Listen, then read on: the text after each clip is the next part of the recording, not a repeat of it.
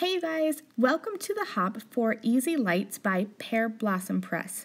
These lights are the easiest way that I've ever made a light up card. I was always intimidated by paper switches and lining things up and all of that terrible stuff. These EZ lights are literally the easiest thing that I've ever used in my life. And this hop is going to have a lot of inspiration, tips and tricks, and all the good stuff for creating with this product. So I showed you in the beginning there, the EZ Lights come packaged in these cute little blue tissue papers. It's so cute, and I love how Amanda takes that extra step to package them so beautifully. They come in different size packages.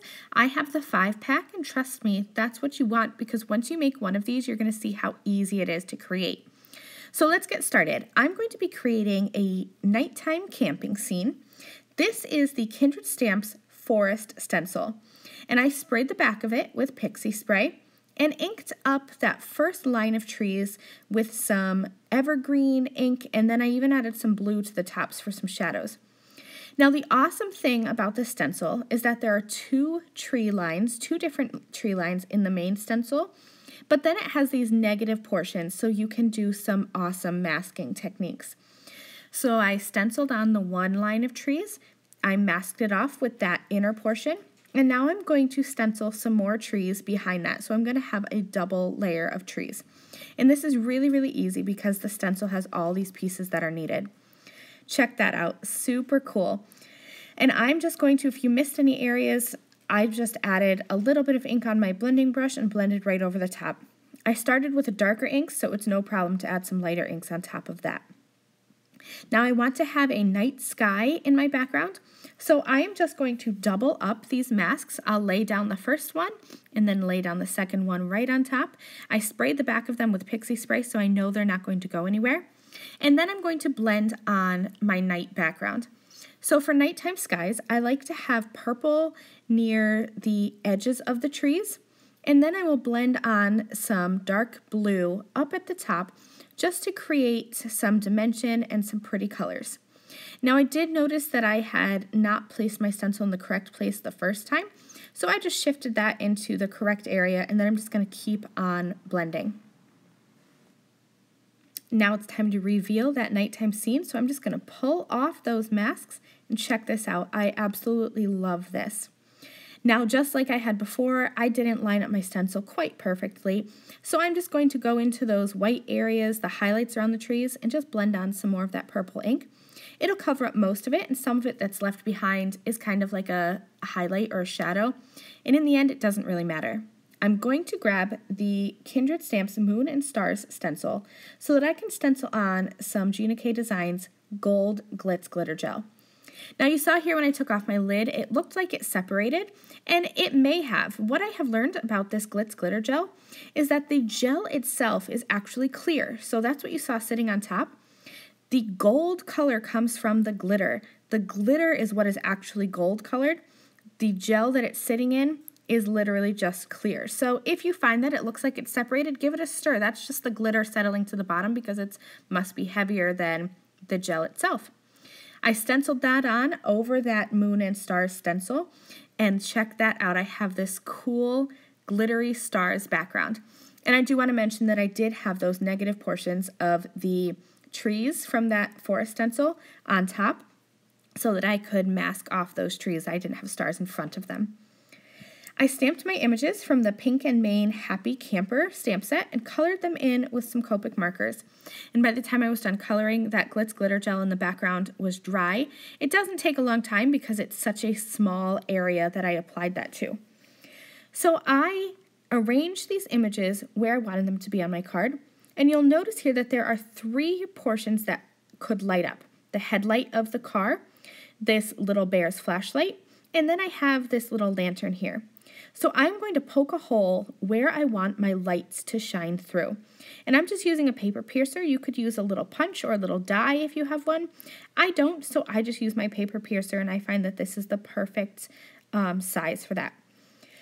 So I need to have the holes continuing on through my images to my background because I want the light to be able to shine all the way through. So I lined up my images where I wanted them to be on my card And then I just took my paper piercer and pushed through the holes that I had already put in my die cut images and punched little holes through my background. So now I have holes that are going to line up from the very front of my images all the way to the back of my card. I have a piece of vellum here and I'm just coloring it with a yellow Copic marker. If you have yellow vellum, that'll work just as well. I don't, so I decided to make my own. And the reason I'm doing this is because I want the light that shines through to be tinted yellow because that's what color a headlight, a flashlight, and a little lantern would be. If you want your light to shine through purple, just give yourself a little purple piece of vellum and that will be absolutely fine. I'm going to add my images onto my card now. I'm using foam squares. And when I do this, I am lining up the hole in the headlight of my car with that hole in my background. And I found that it was easy to do if I held my card up to my light so the light shined through the hole in the background and then I could line up the hole in my little images with the light shining through the hole of the background. So that's why you'll see me keep picking my card up to look through. I found that that was the easiest way to do it.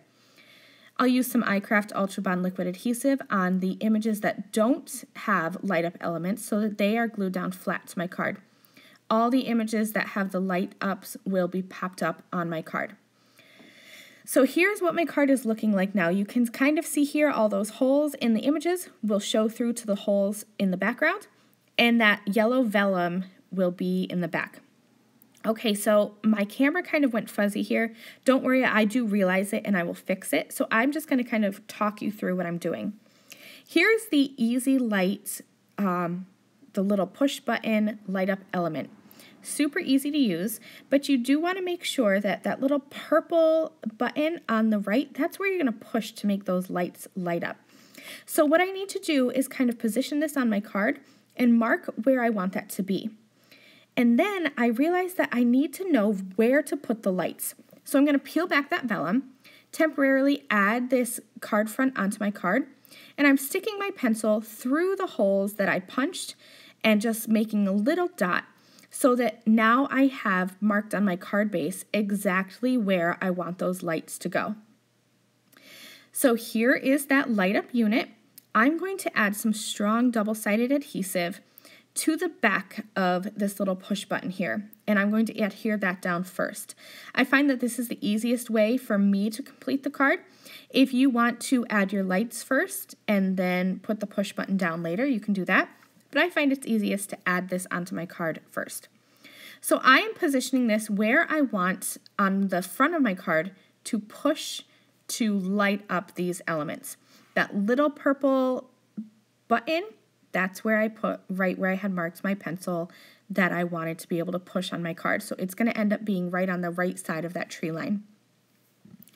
Now it's time to tack down the lights. So there are three strings here, and each string has actually two strings because you need a positive and a negative. So I'm just going to kind of loop around the excess wire, and I'm going to put the light right on top of one of the dots. For me, it's easiest for me to start with the light that is furthest away from my unit. So this is the one that will actually be for the headlight of the little car. And then I'm going to work back towards the light up uh, push button of my card. So this light will be for the flashlight. And all I'm doing is just putting the light right on top. There's like this little yellow LED bulb. And I'm putting that right on top of the pencil mark where I marked where I had my elements for the front of the card. And I'm just using some washi tape to tack down the excess wires. Really, this is super easy and a whole lot simpler than creating paper switches all you had to do is just pop the battery in and check this out. When I push, it works like magic. And I do have a tip for you. I test that the light works all the way through my card. So every time I do something, I push that button and make sure it's still going to work. Here I'm adding some double-sided tape on top of the wires just to make sure that they are not going to move. I don't feel this is a necessary step. It just is for my own peace of mind. This tape is stronger than the washi tape. So I'm just going to add that over the wires, making sure that it doesn't interfere with the light bulbs themselves. And then I give that button a press to make sure that everything is working okay. Now you want to create a little um, like a well for your light up unit because you don't want that button to be constantly getting pressed in the mail. So you need some dimension behind this. So I'm going to add a double layer of foam tape all the way around the outside edge of my card. It is okay to put the tape over the wire like I'm doing here, but don't put the tape over the battery unit, the push button, or any of the actual light bulbs because that will interfere with your light up mechanism. So as you can see here, every time I add more tape, I'm just kind of pressing that button to make sure it works. And since everything is okay and my wells are all complete, I'm going to add my card onto this light up mechanism, covering up all that ugliness of the wires and all my extra tape. I'll push that button and check that out. All three of these little elements light up so perfectly.